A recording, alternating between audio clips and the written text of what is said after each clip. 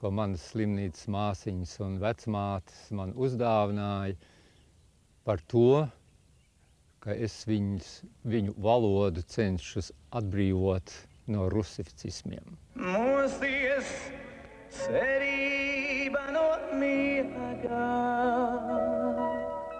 23. augustā Burtniekos notiek Māra Zālītas un Zigmara Liepiņa rokoperas Lāčplēsmas izrāde, bet 30. septembrī nodibinās Igaunijas Tautas fronte.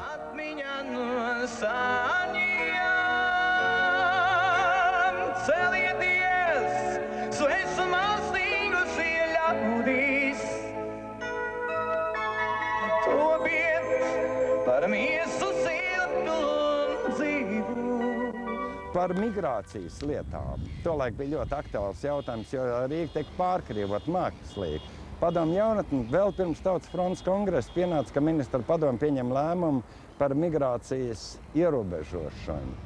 Latviešu valoda par valsts valodu kļuva pateicoties Ainas Blinkanas rakstam padomu jaunatnē, un mēs norganizējām, ka uz Latvijas pēc augstākās padomas prezidija juridisko daļu sūtīja lasītāju vēstules. Paraksts bija 340 tūkstoši parakstu. Iedomājieties, 340 tūkstoši parakstu. Vecā sasākuma augstākā padome vēl pirms Latvijas Tautas fronts pieņēma lēmumu un pasludināja latviešu valodu par valsts valodu. Latvija, mīļotā māte, tava tauta tevi lūdz no viņas nenovērst savu labvēlības vaigu. Tavi bērni tev lūdz piedošanu par savu bijušo nespēku, par to, ka viņi bijuši spiesti atmelot tavu vēsturi vai klusēt par to. Bet viņi nav atteikšies nec no tevis, nec no tavas pagātnes. Viņi saņēmušies, lai runātu patiesību, lai ietu pret melnā viltu un kangara zemiskumu. Kaut mēs nekad nenodotu savus brāļus un māsas, kaut mūsu valsts vīri būtu nevis pret mums, bet ar mums, kā tas ir šodien. Jūs noteikti interesēs, protams, mana programma priekšdienām. Es iestāšos par reālu tautvaldību un darīšu visu, lai nebūtu plaisas starp valdību un tautu. 7. oktobrī Rīgā notiek tautas manifestācija par tiesisku valsti.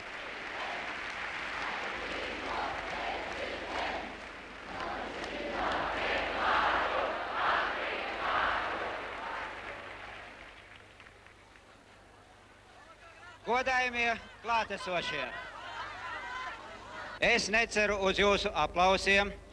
Es tikai gribu pateikt vienu. Esmu dzimis, audzis un visu mūžu strādājis Latvijā. Un latviešu tautas likteņi man nav mazāk svarīgi, man nav mazāk sāpīgi. Es uzskatu, ar tīru sirdsapziņu, es varu skatīties jums visiem acīs, jo savā darbībā latviešu tautai neko ļaunu es neesmu nodarījis, un arī turpmāk savā darbā centīšos nenodarboties. Paldies! Pie toreizējā Latvijas komunistiskās partijas sastāvā Vagra tā galvenā funkcija bija būt par tādu kā, nu, ziniet, kā bluķi, kā akmeni šo konservatīvo spēku ceļā. Viņa pat neko nedarot, viņš bremzēja šo, šos centienus, nu, var teikt, rīkoties tā, kā šie konservatīvie spēki uzskatīja par vajadzīgu. Vārenības gēns mūsu zemapziņā ir spēcīgi ieprogrammēts.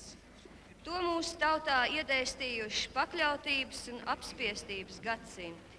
Jo mums jau ļoti ilgi nav mātes.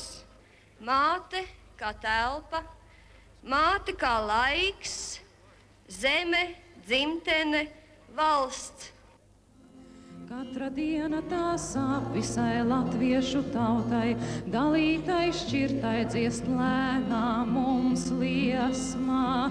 Palīdzi Dievs, palīdzi Dievs, visai latviešu tautai, saveto mājās pie Daugavas krastiem, saveto. Augstiem godājumiem Latvijas Tautas frontes dibināšanas kongresa delegāti, dārgie viesi no citām republikām un ārvalstīm, biedri, dāmas un kungi, draugi, domu biedri un citādi domājošie. Trīs Baltijas tautas, kuru liktenis Eiropas krustcelēs ir bijis neapskaužams, piedzīvo jaunu atmodu. Mana mīļā, drosmīgā arāju tauta. Drosmīgā, sīkstā, izturīgā. Ja tu tāda nebūtu, tad nekad Daina nevi, nevēstītu mums tādus vārdus. Man pieder tev zeme ar visām atmatām. Man pašam kungam būt, man pašam arājam. Par Latvijas Tautas frontes priekšsēdētāju ievēl Daini Īvānu. Ну, коммунистическая партия за то, чтобы остаться в Советском Союзе. Народный фронт, я понимаю. Однозначно Так. тоже. Дайнис Иванс, председатель Народного фронта. политической свободы Латвии, если об этом говорить, мы будем реализовать в равноправном, равноправной федерации suverēnnych Sovietskih Respublik. Kompartijas uzskatīja, ka var veidot tautas kustību, kuru veidot sabiedriskas organizācijas, nekomunistiskas, kura būtu nepolitiska kustība un kas palīdzētu teiksim, atbalstīt Gorbačova kursu. Tas šīs idejas iniciatoriem pēc tam nospēlēja par sliktu. Ja būtu pēc individuālo biedru principa veidot tautas fronti, varbūt būtu bijis daudz grūtāk izveidot masu kustību, jo bailes vēl cilvēkiem bija diezgan stipras. Un, teiksim, iestāties kādā organizācijā masveidā, teiksim, tā kā jau uz Tautas fronts kongresu jau bija ap 110 tūkstoši biedru, eh, būtu bijis diezgan sarežģīti. Tas, ka šīs organizācijas izveidojās darba vietās, tas deva teiksim, tādu tomēr apziņu, es neesmu viens. Bija jau noticis pirmais kongress, un es nu, tajā arī nepiedalījos, bet ar domām atbalstīju visu to. Jā. Un man meitas, nu, viņas bija tādas jankunas vecumā, teica, mamma, kā tu tā, nu kā tu tā, nu te, te sēdi mājās, es toreiz mājās strādāju, un neko nedaru, tu taču arī vari kaut, kaut ko darīt. Un tad es decembra sākumā, savā dzimšanas dienā, ar puķītiem aizgāju iestāties frontē. Un frontes toreiz birojiņš bija Smilšielā. Maziņš, maziņš, mazās telpiņās. Un tad Sandra Kalniete man uzaicināja, vai es nevaru atnākt pastrādāt uz fronti par dežurantu.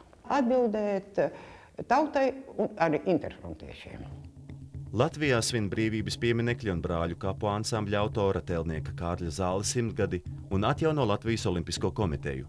Notiek Latvijas tautu fórums, kas atbalsta latviešu centienus, un iznāk Latvijas tautas frontes laikraksts atmoda, kas turpmāk būs visvairāk lasītā avīze Latvijā. Bet Rīgas pilsētā svētā gara tornī 11. novembrī paceļ sarkanbaltsarkano karogu.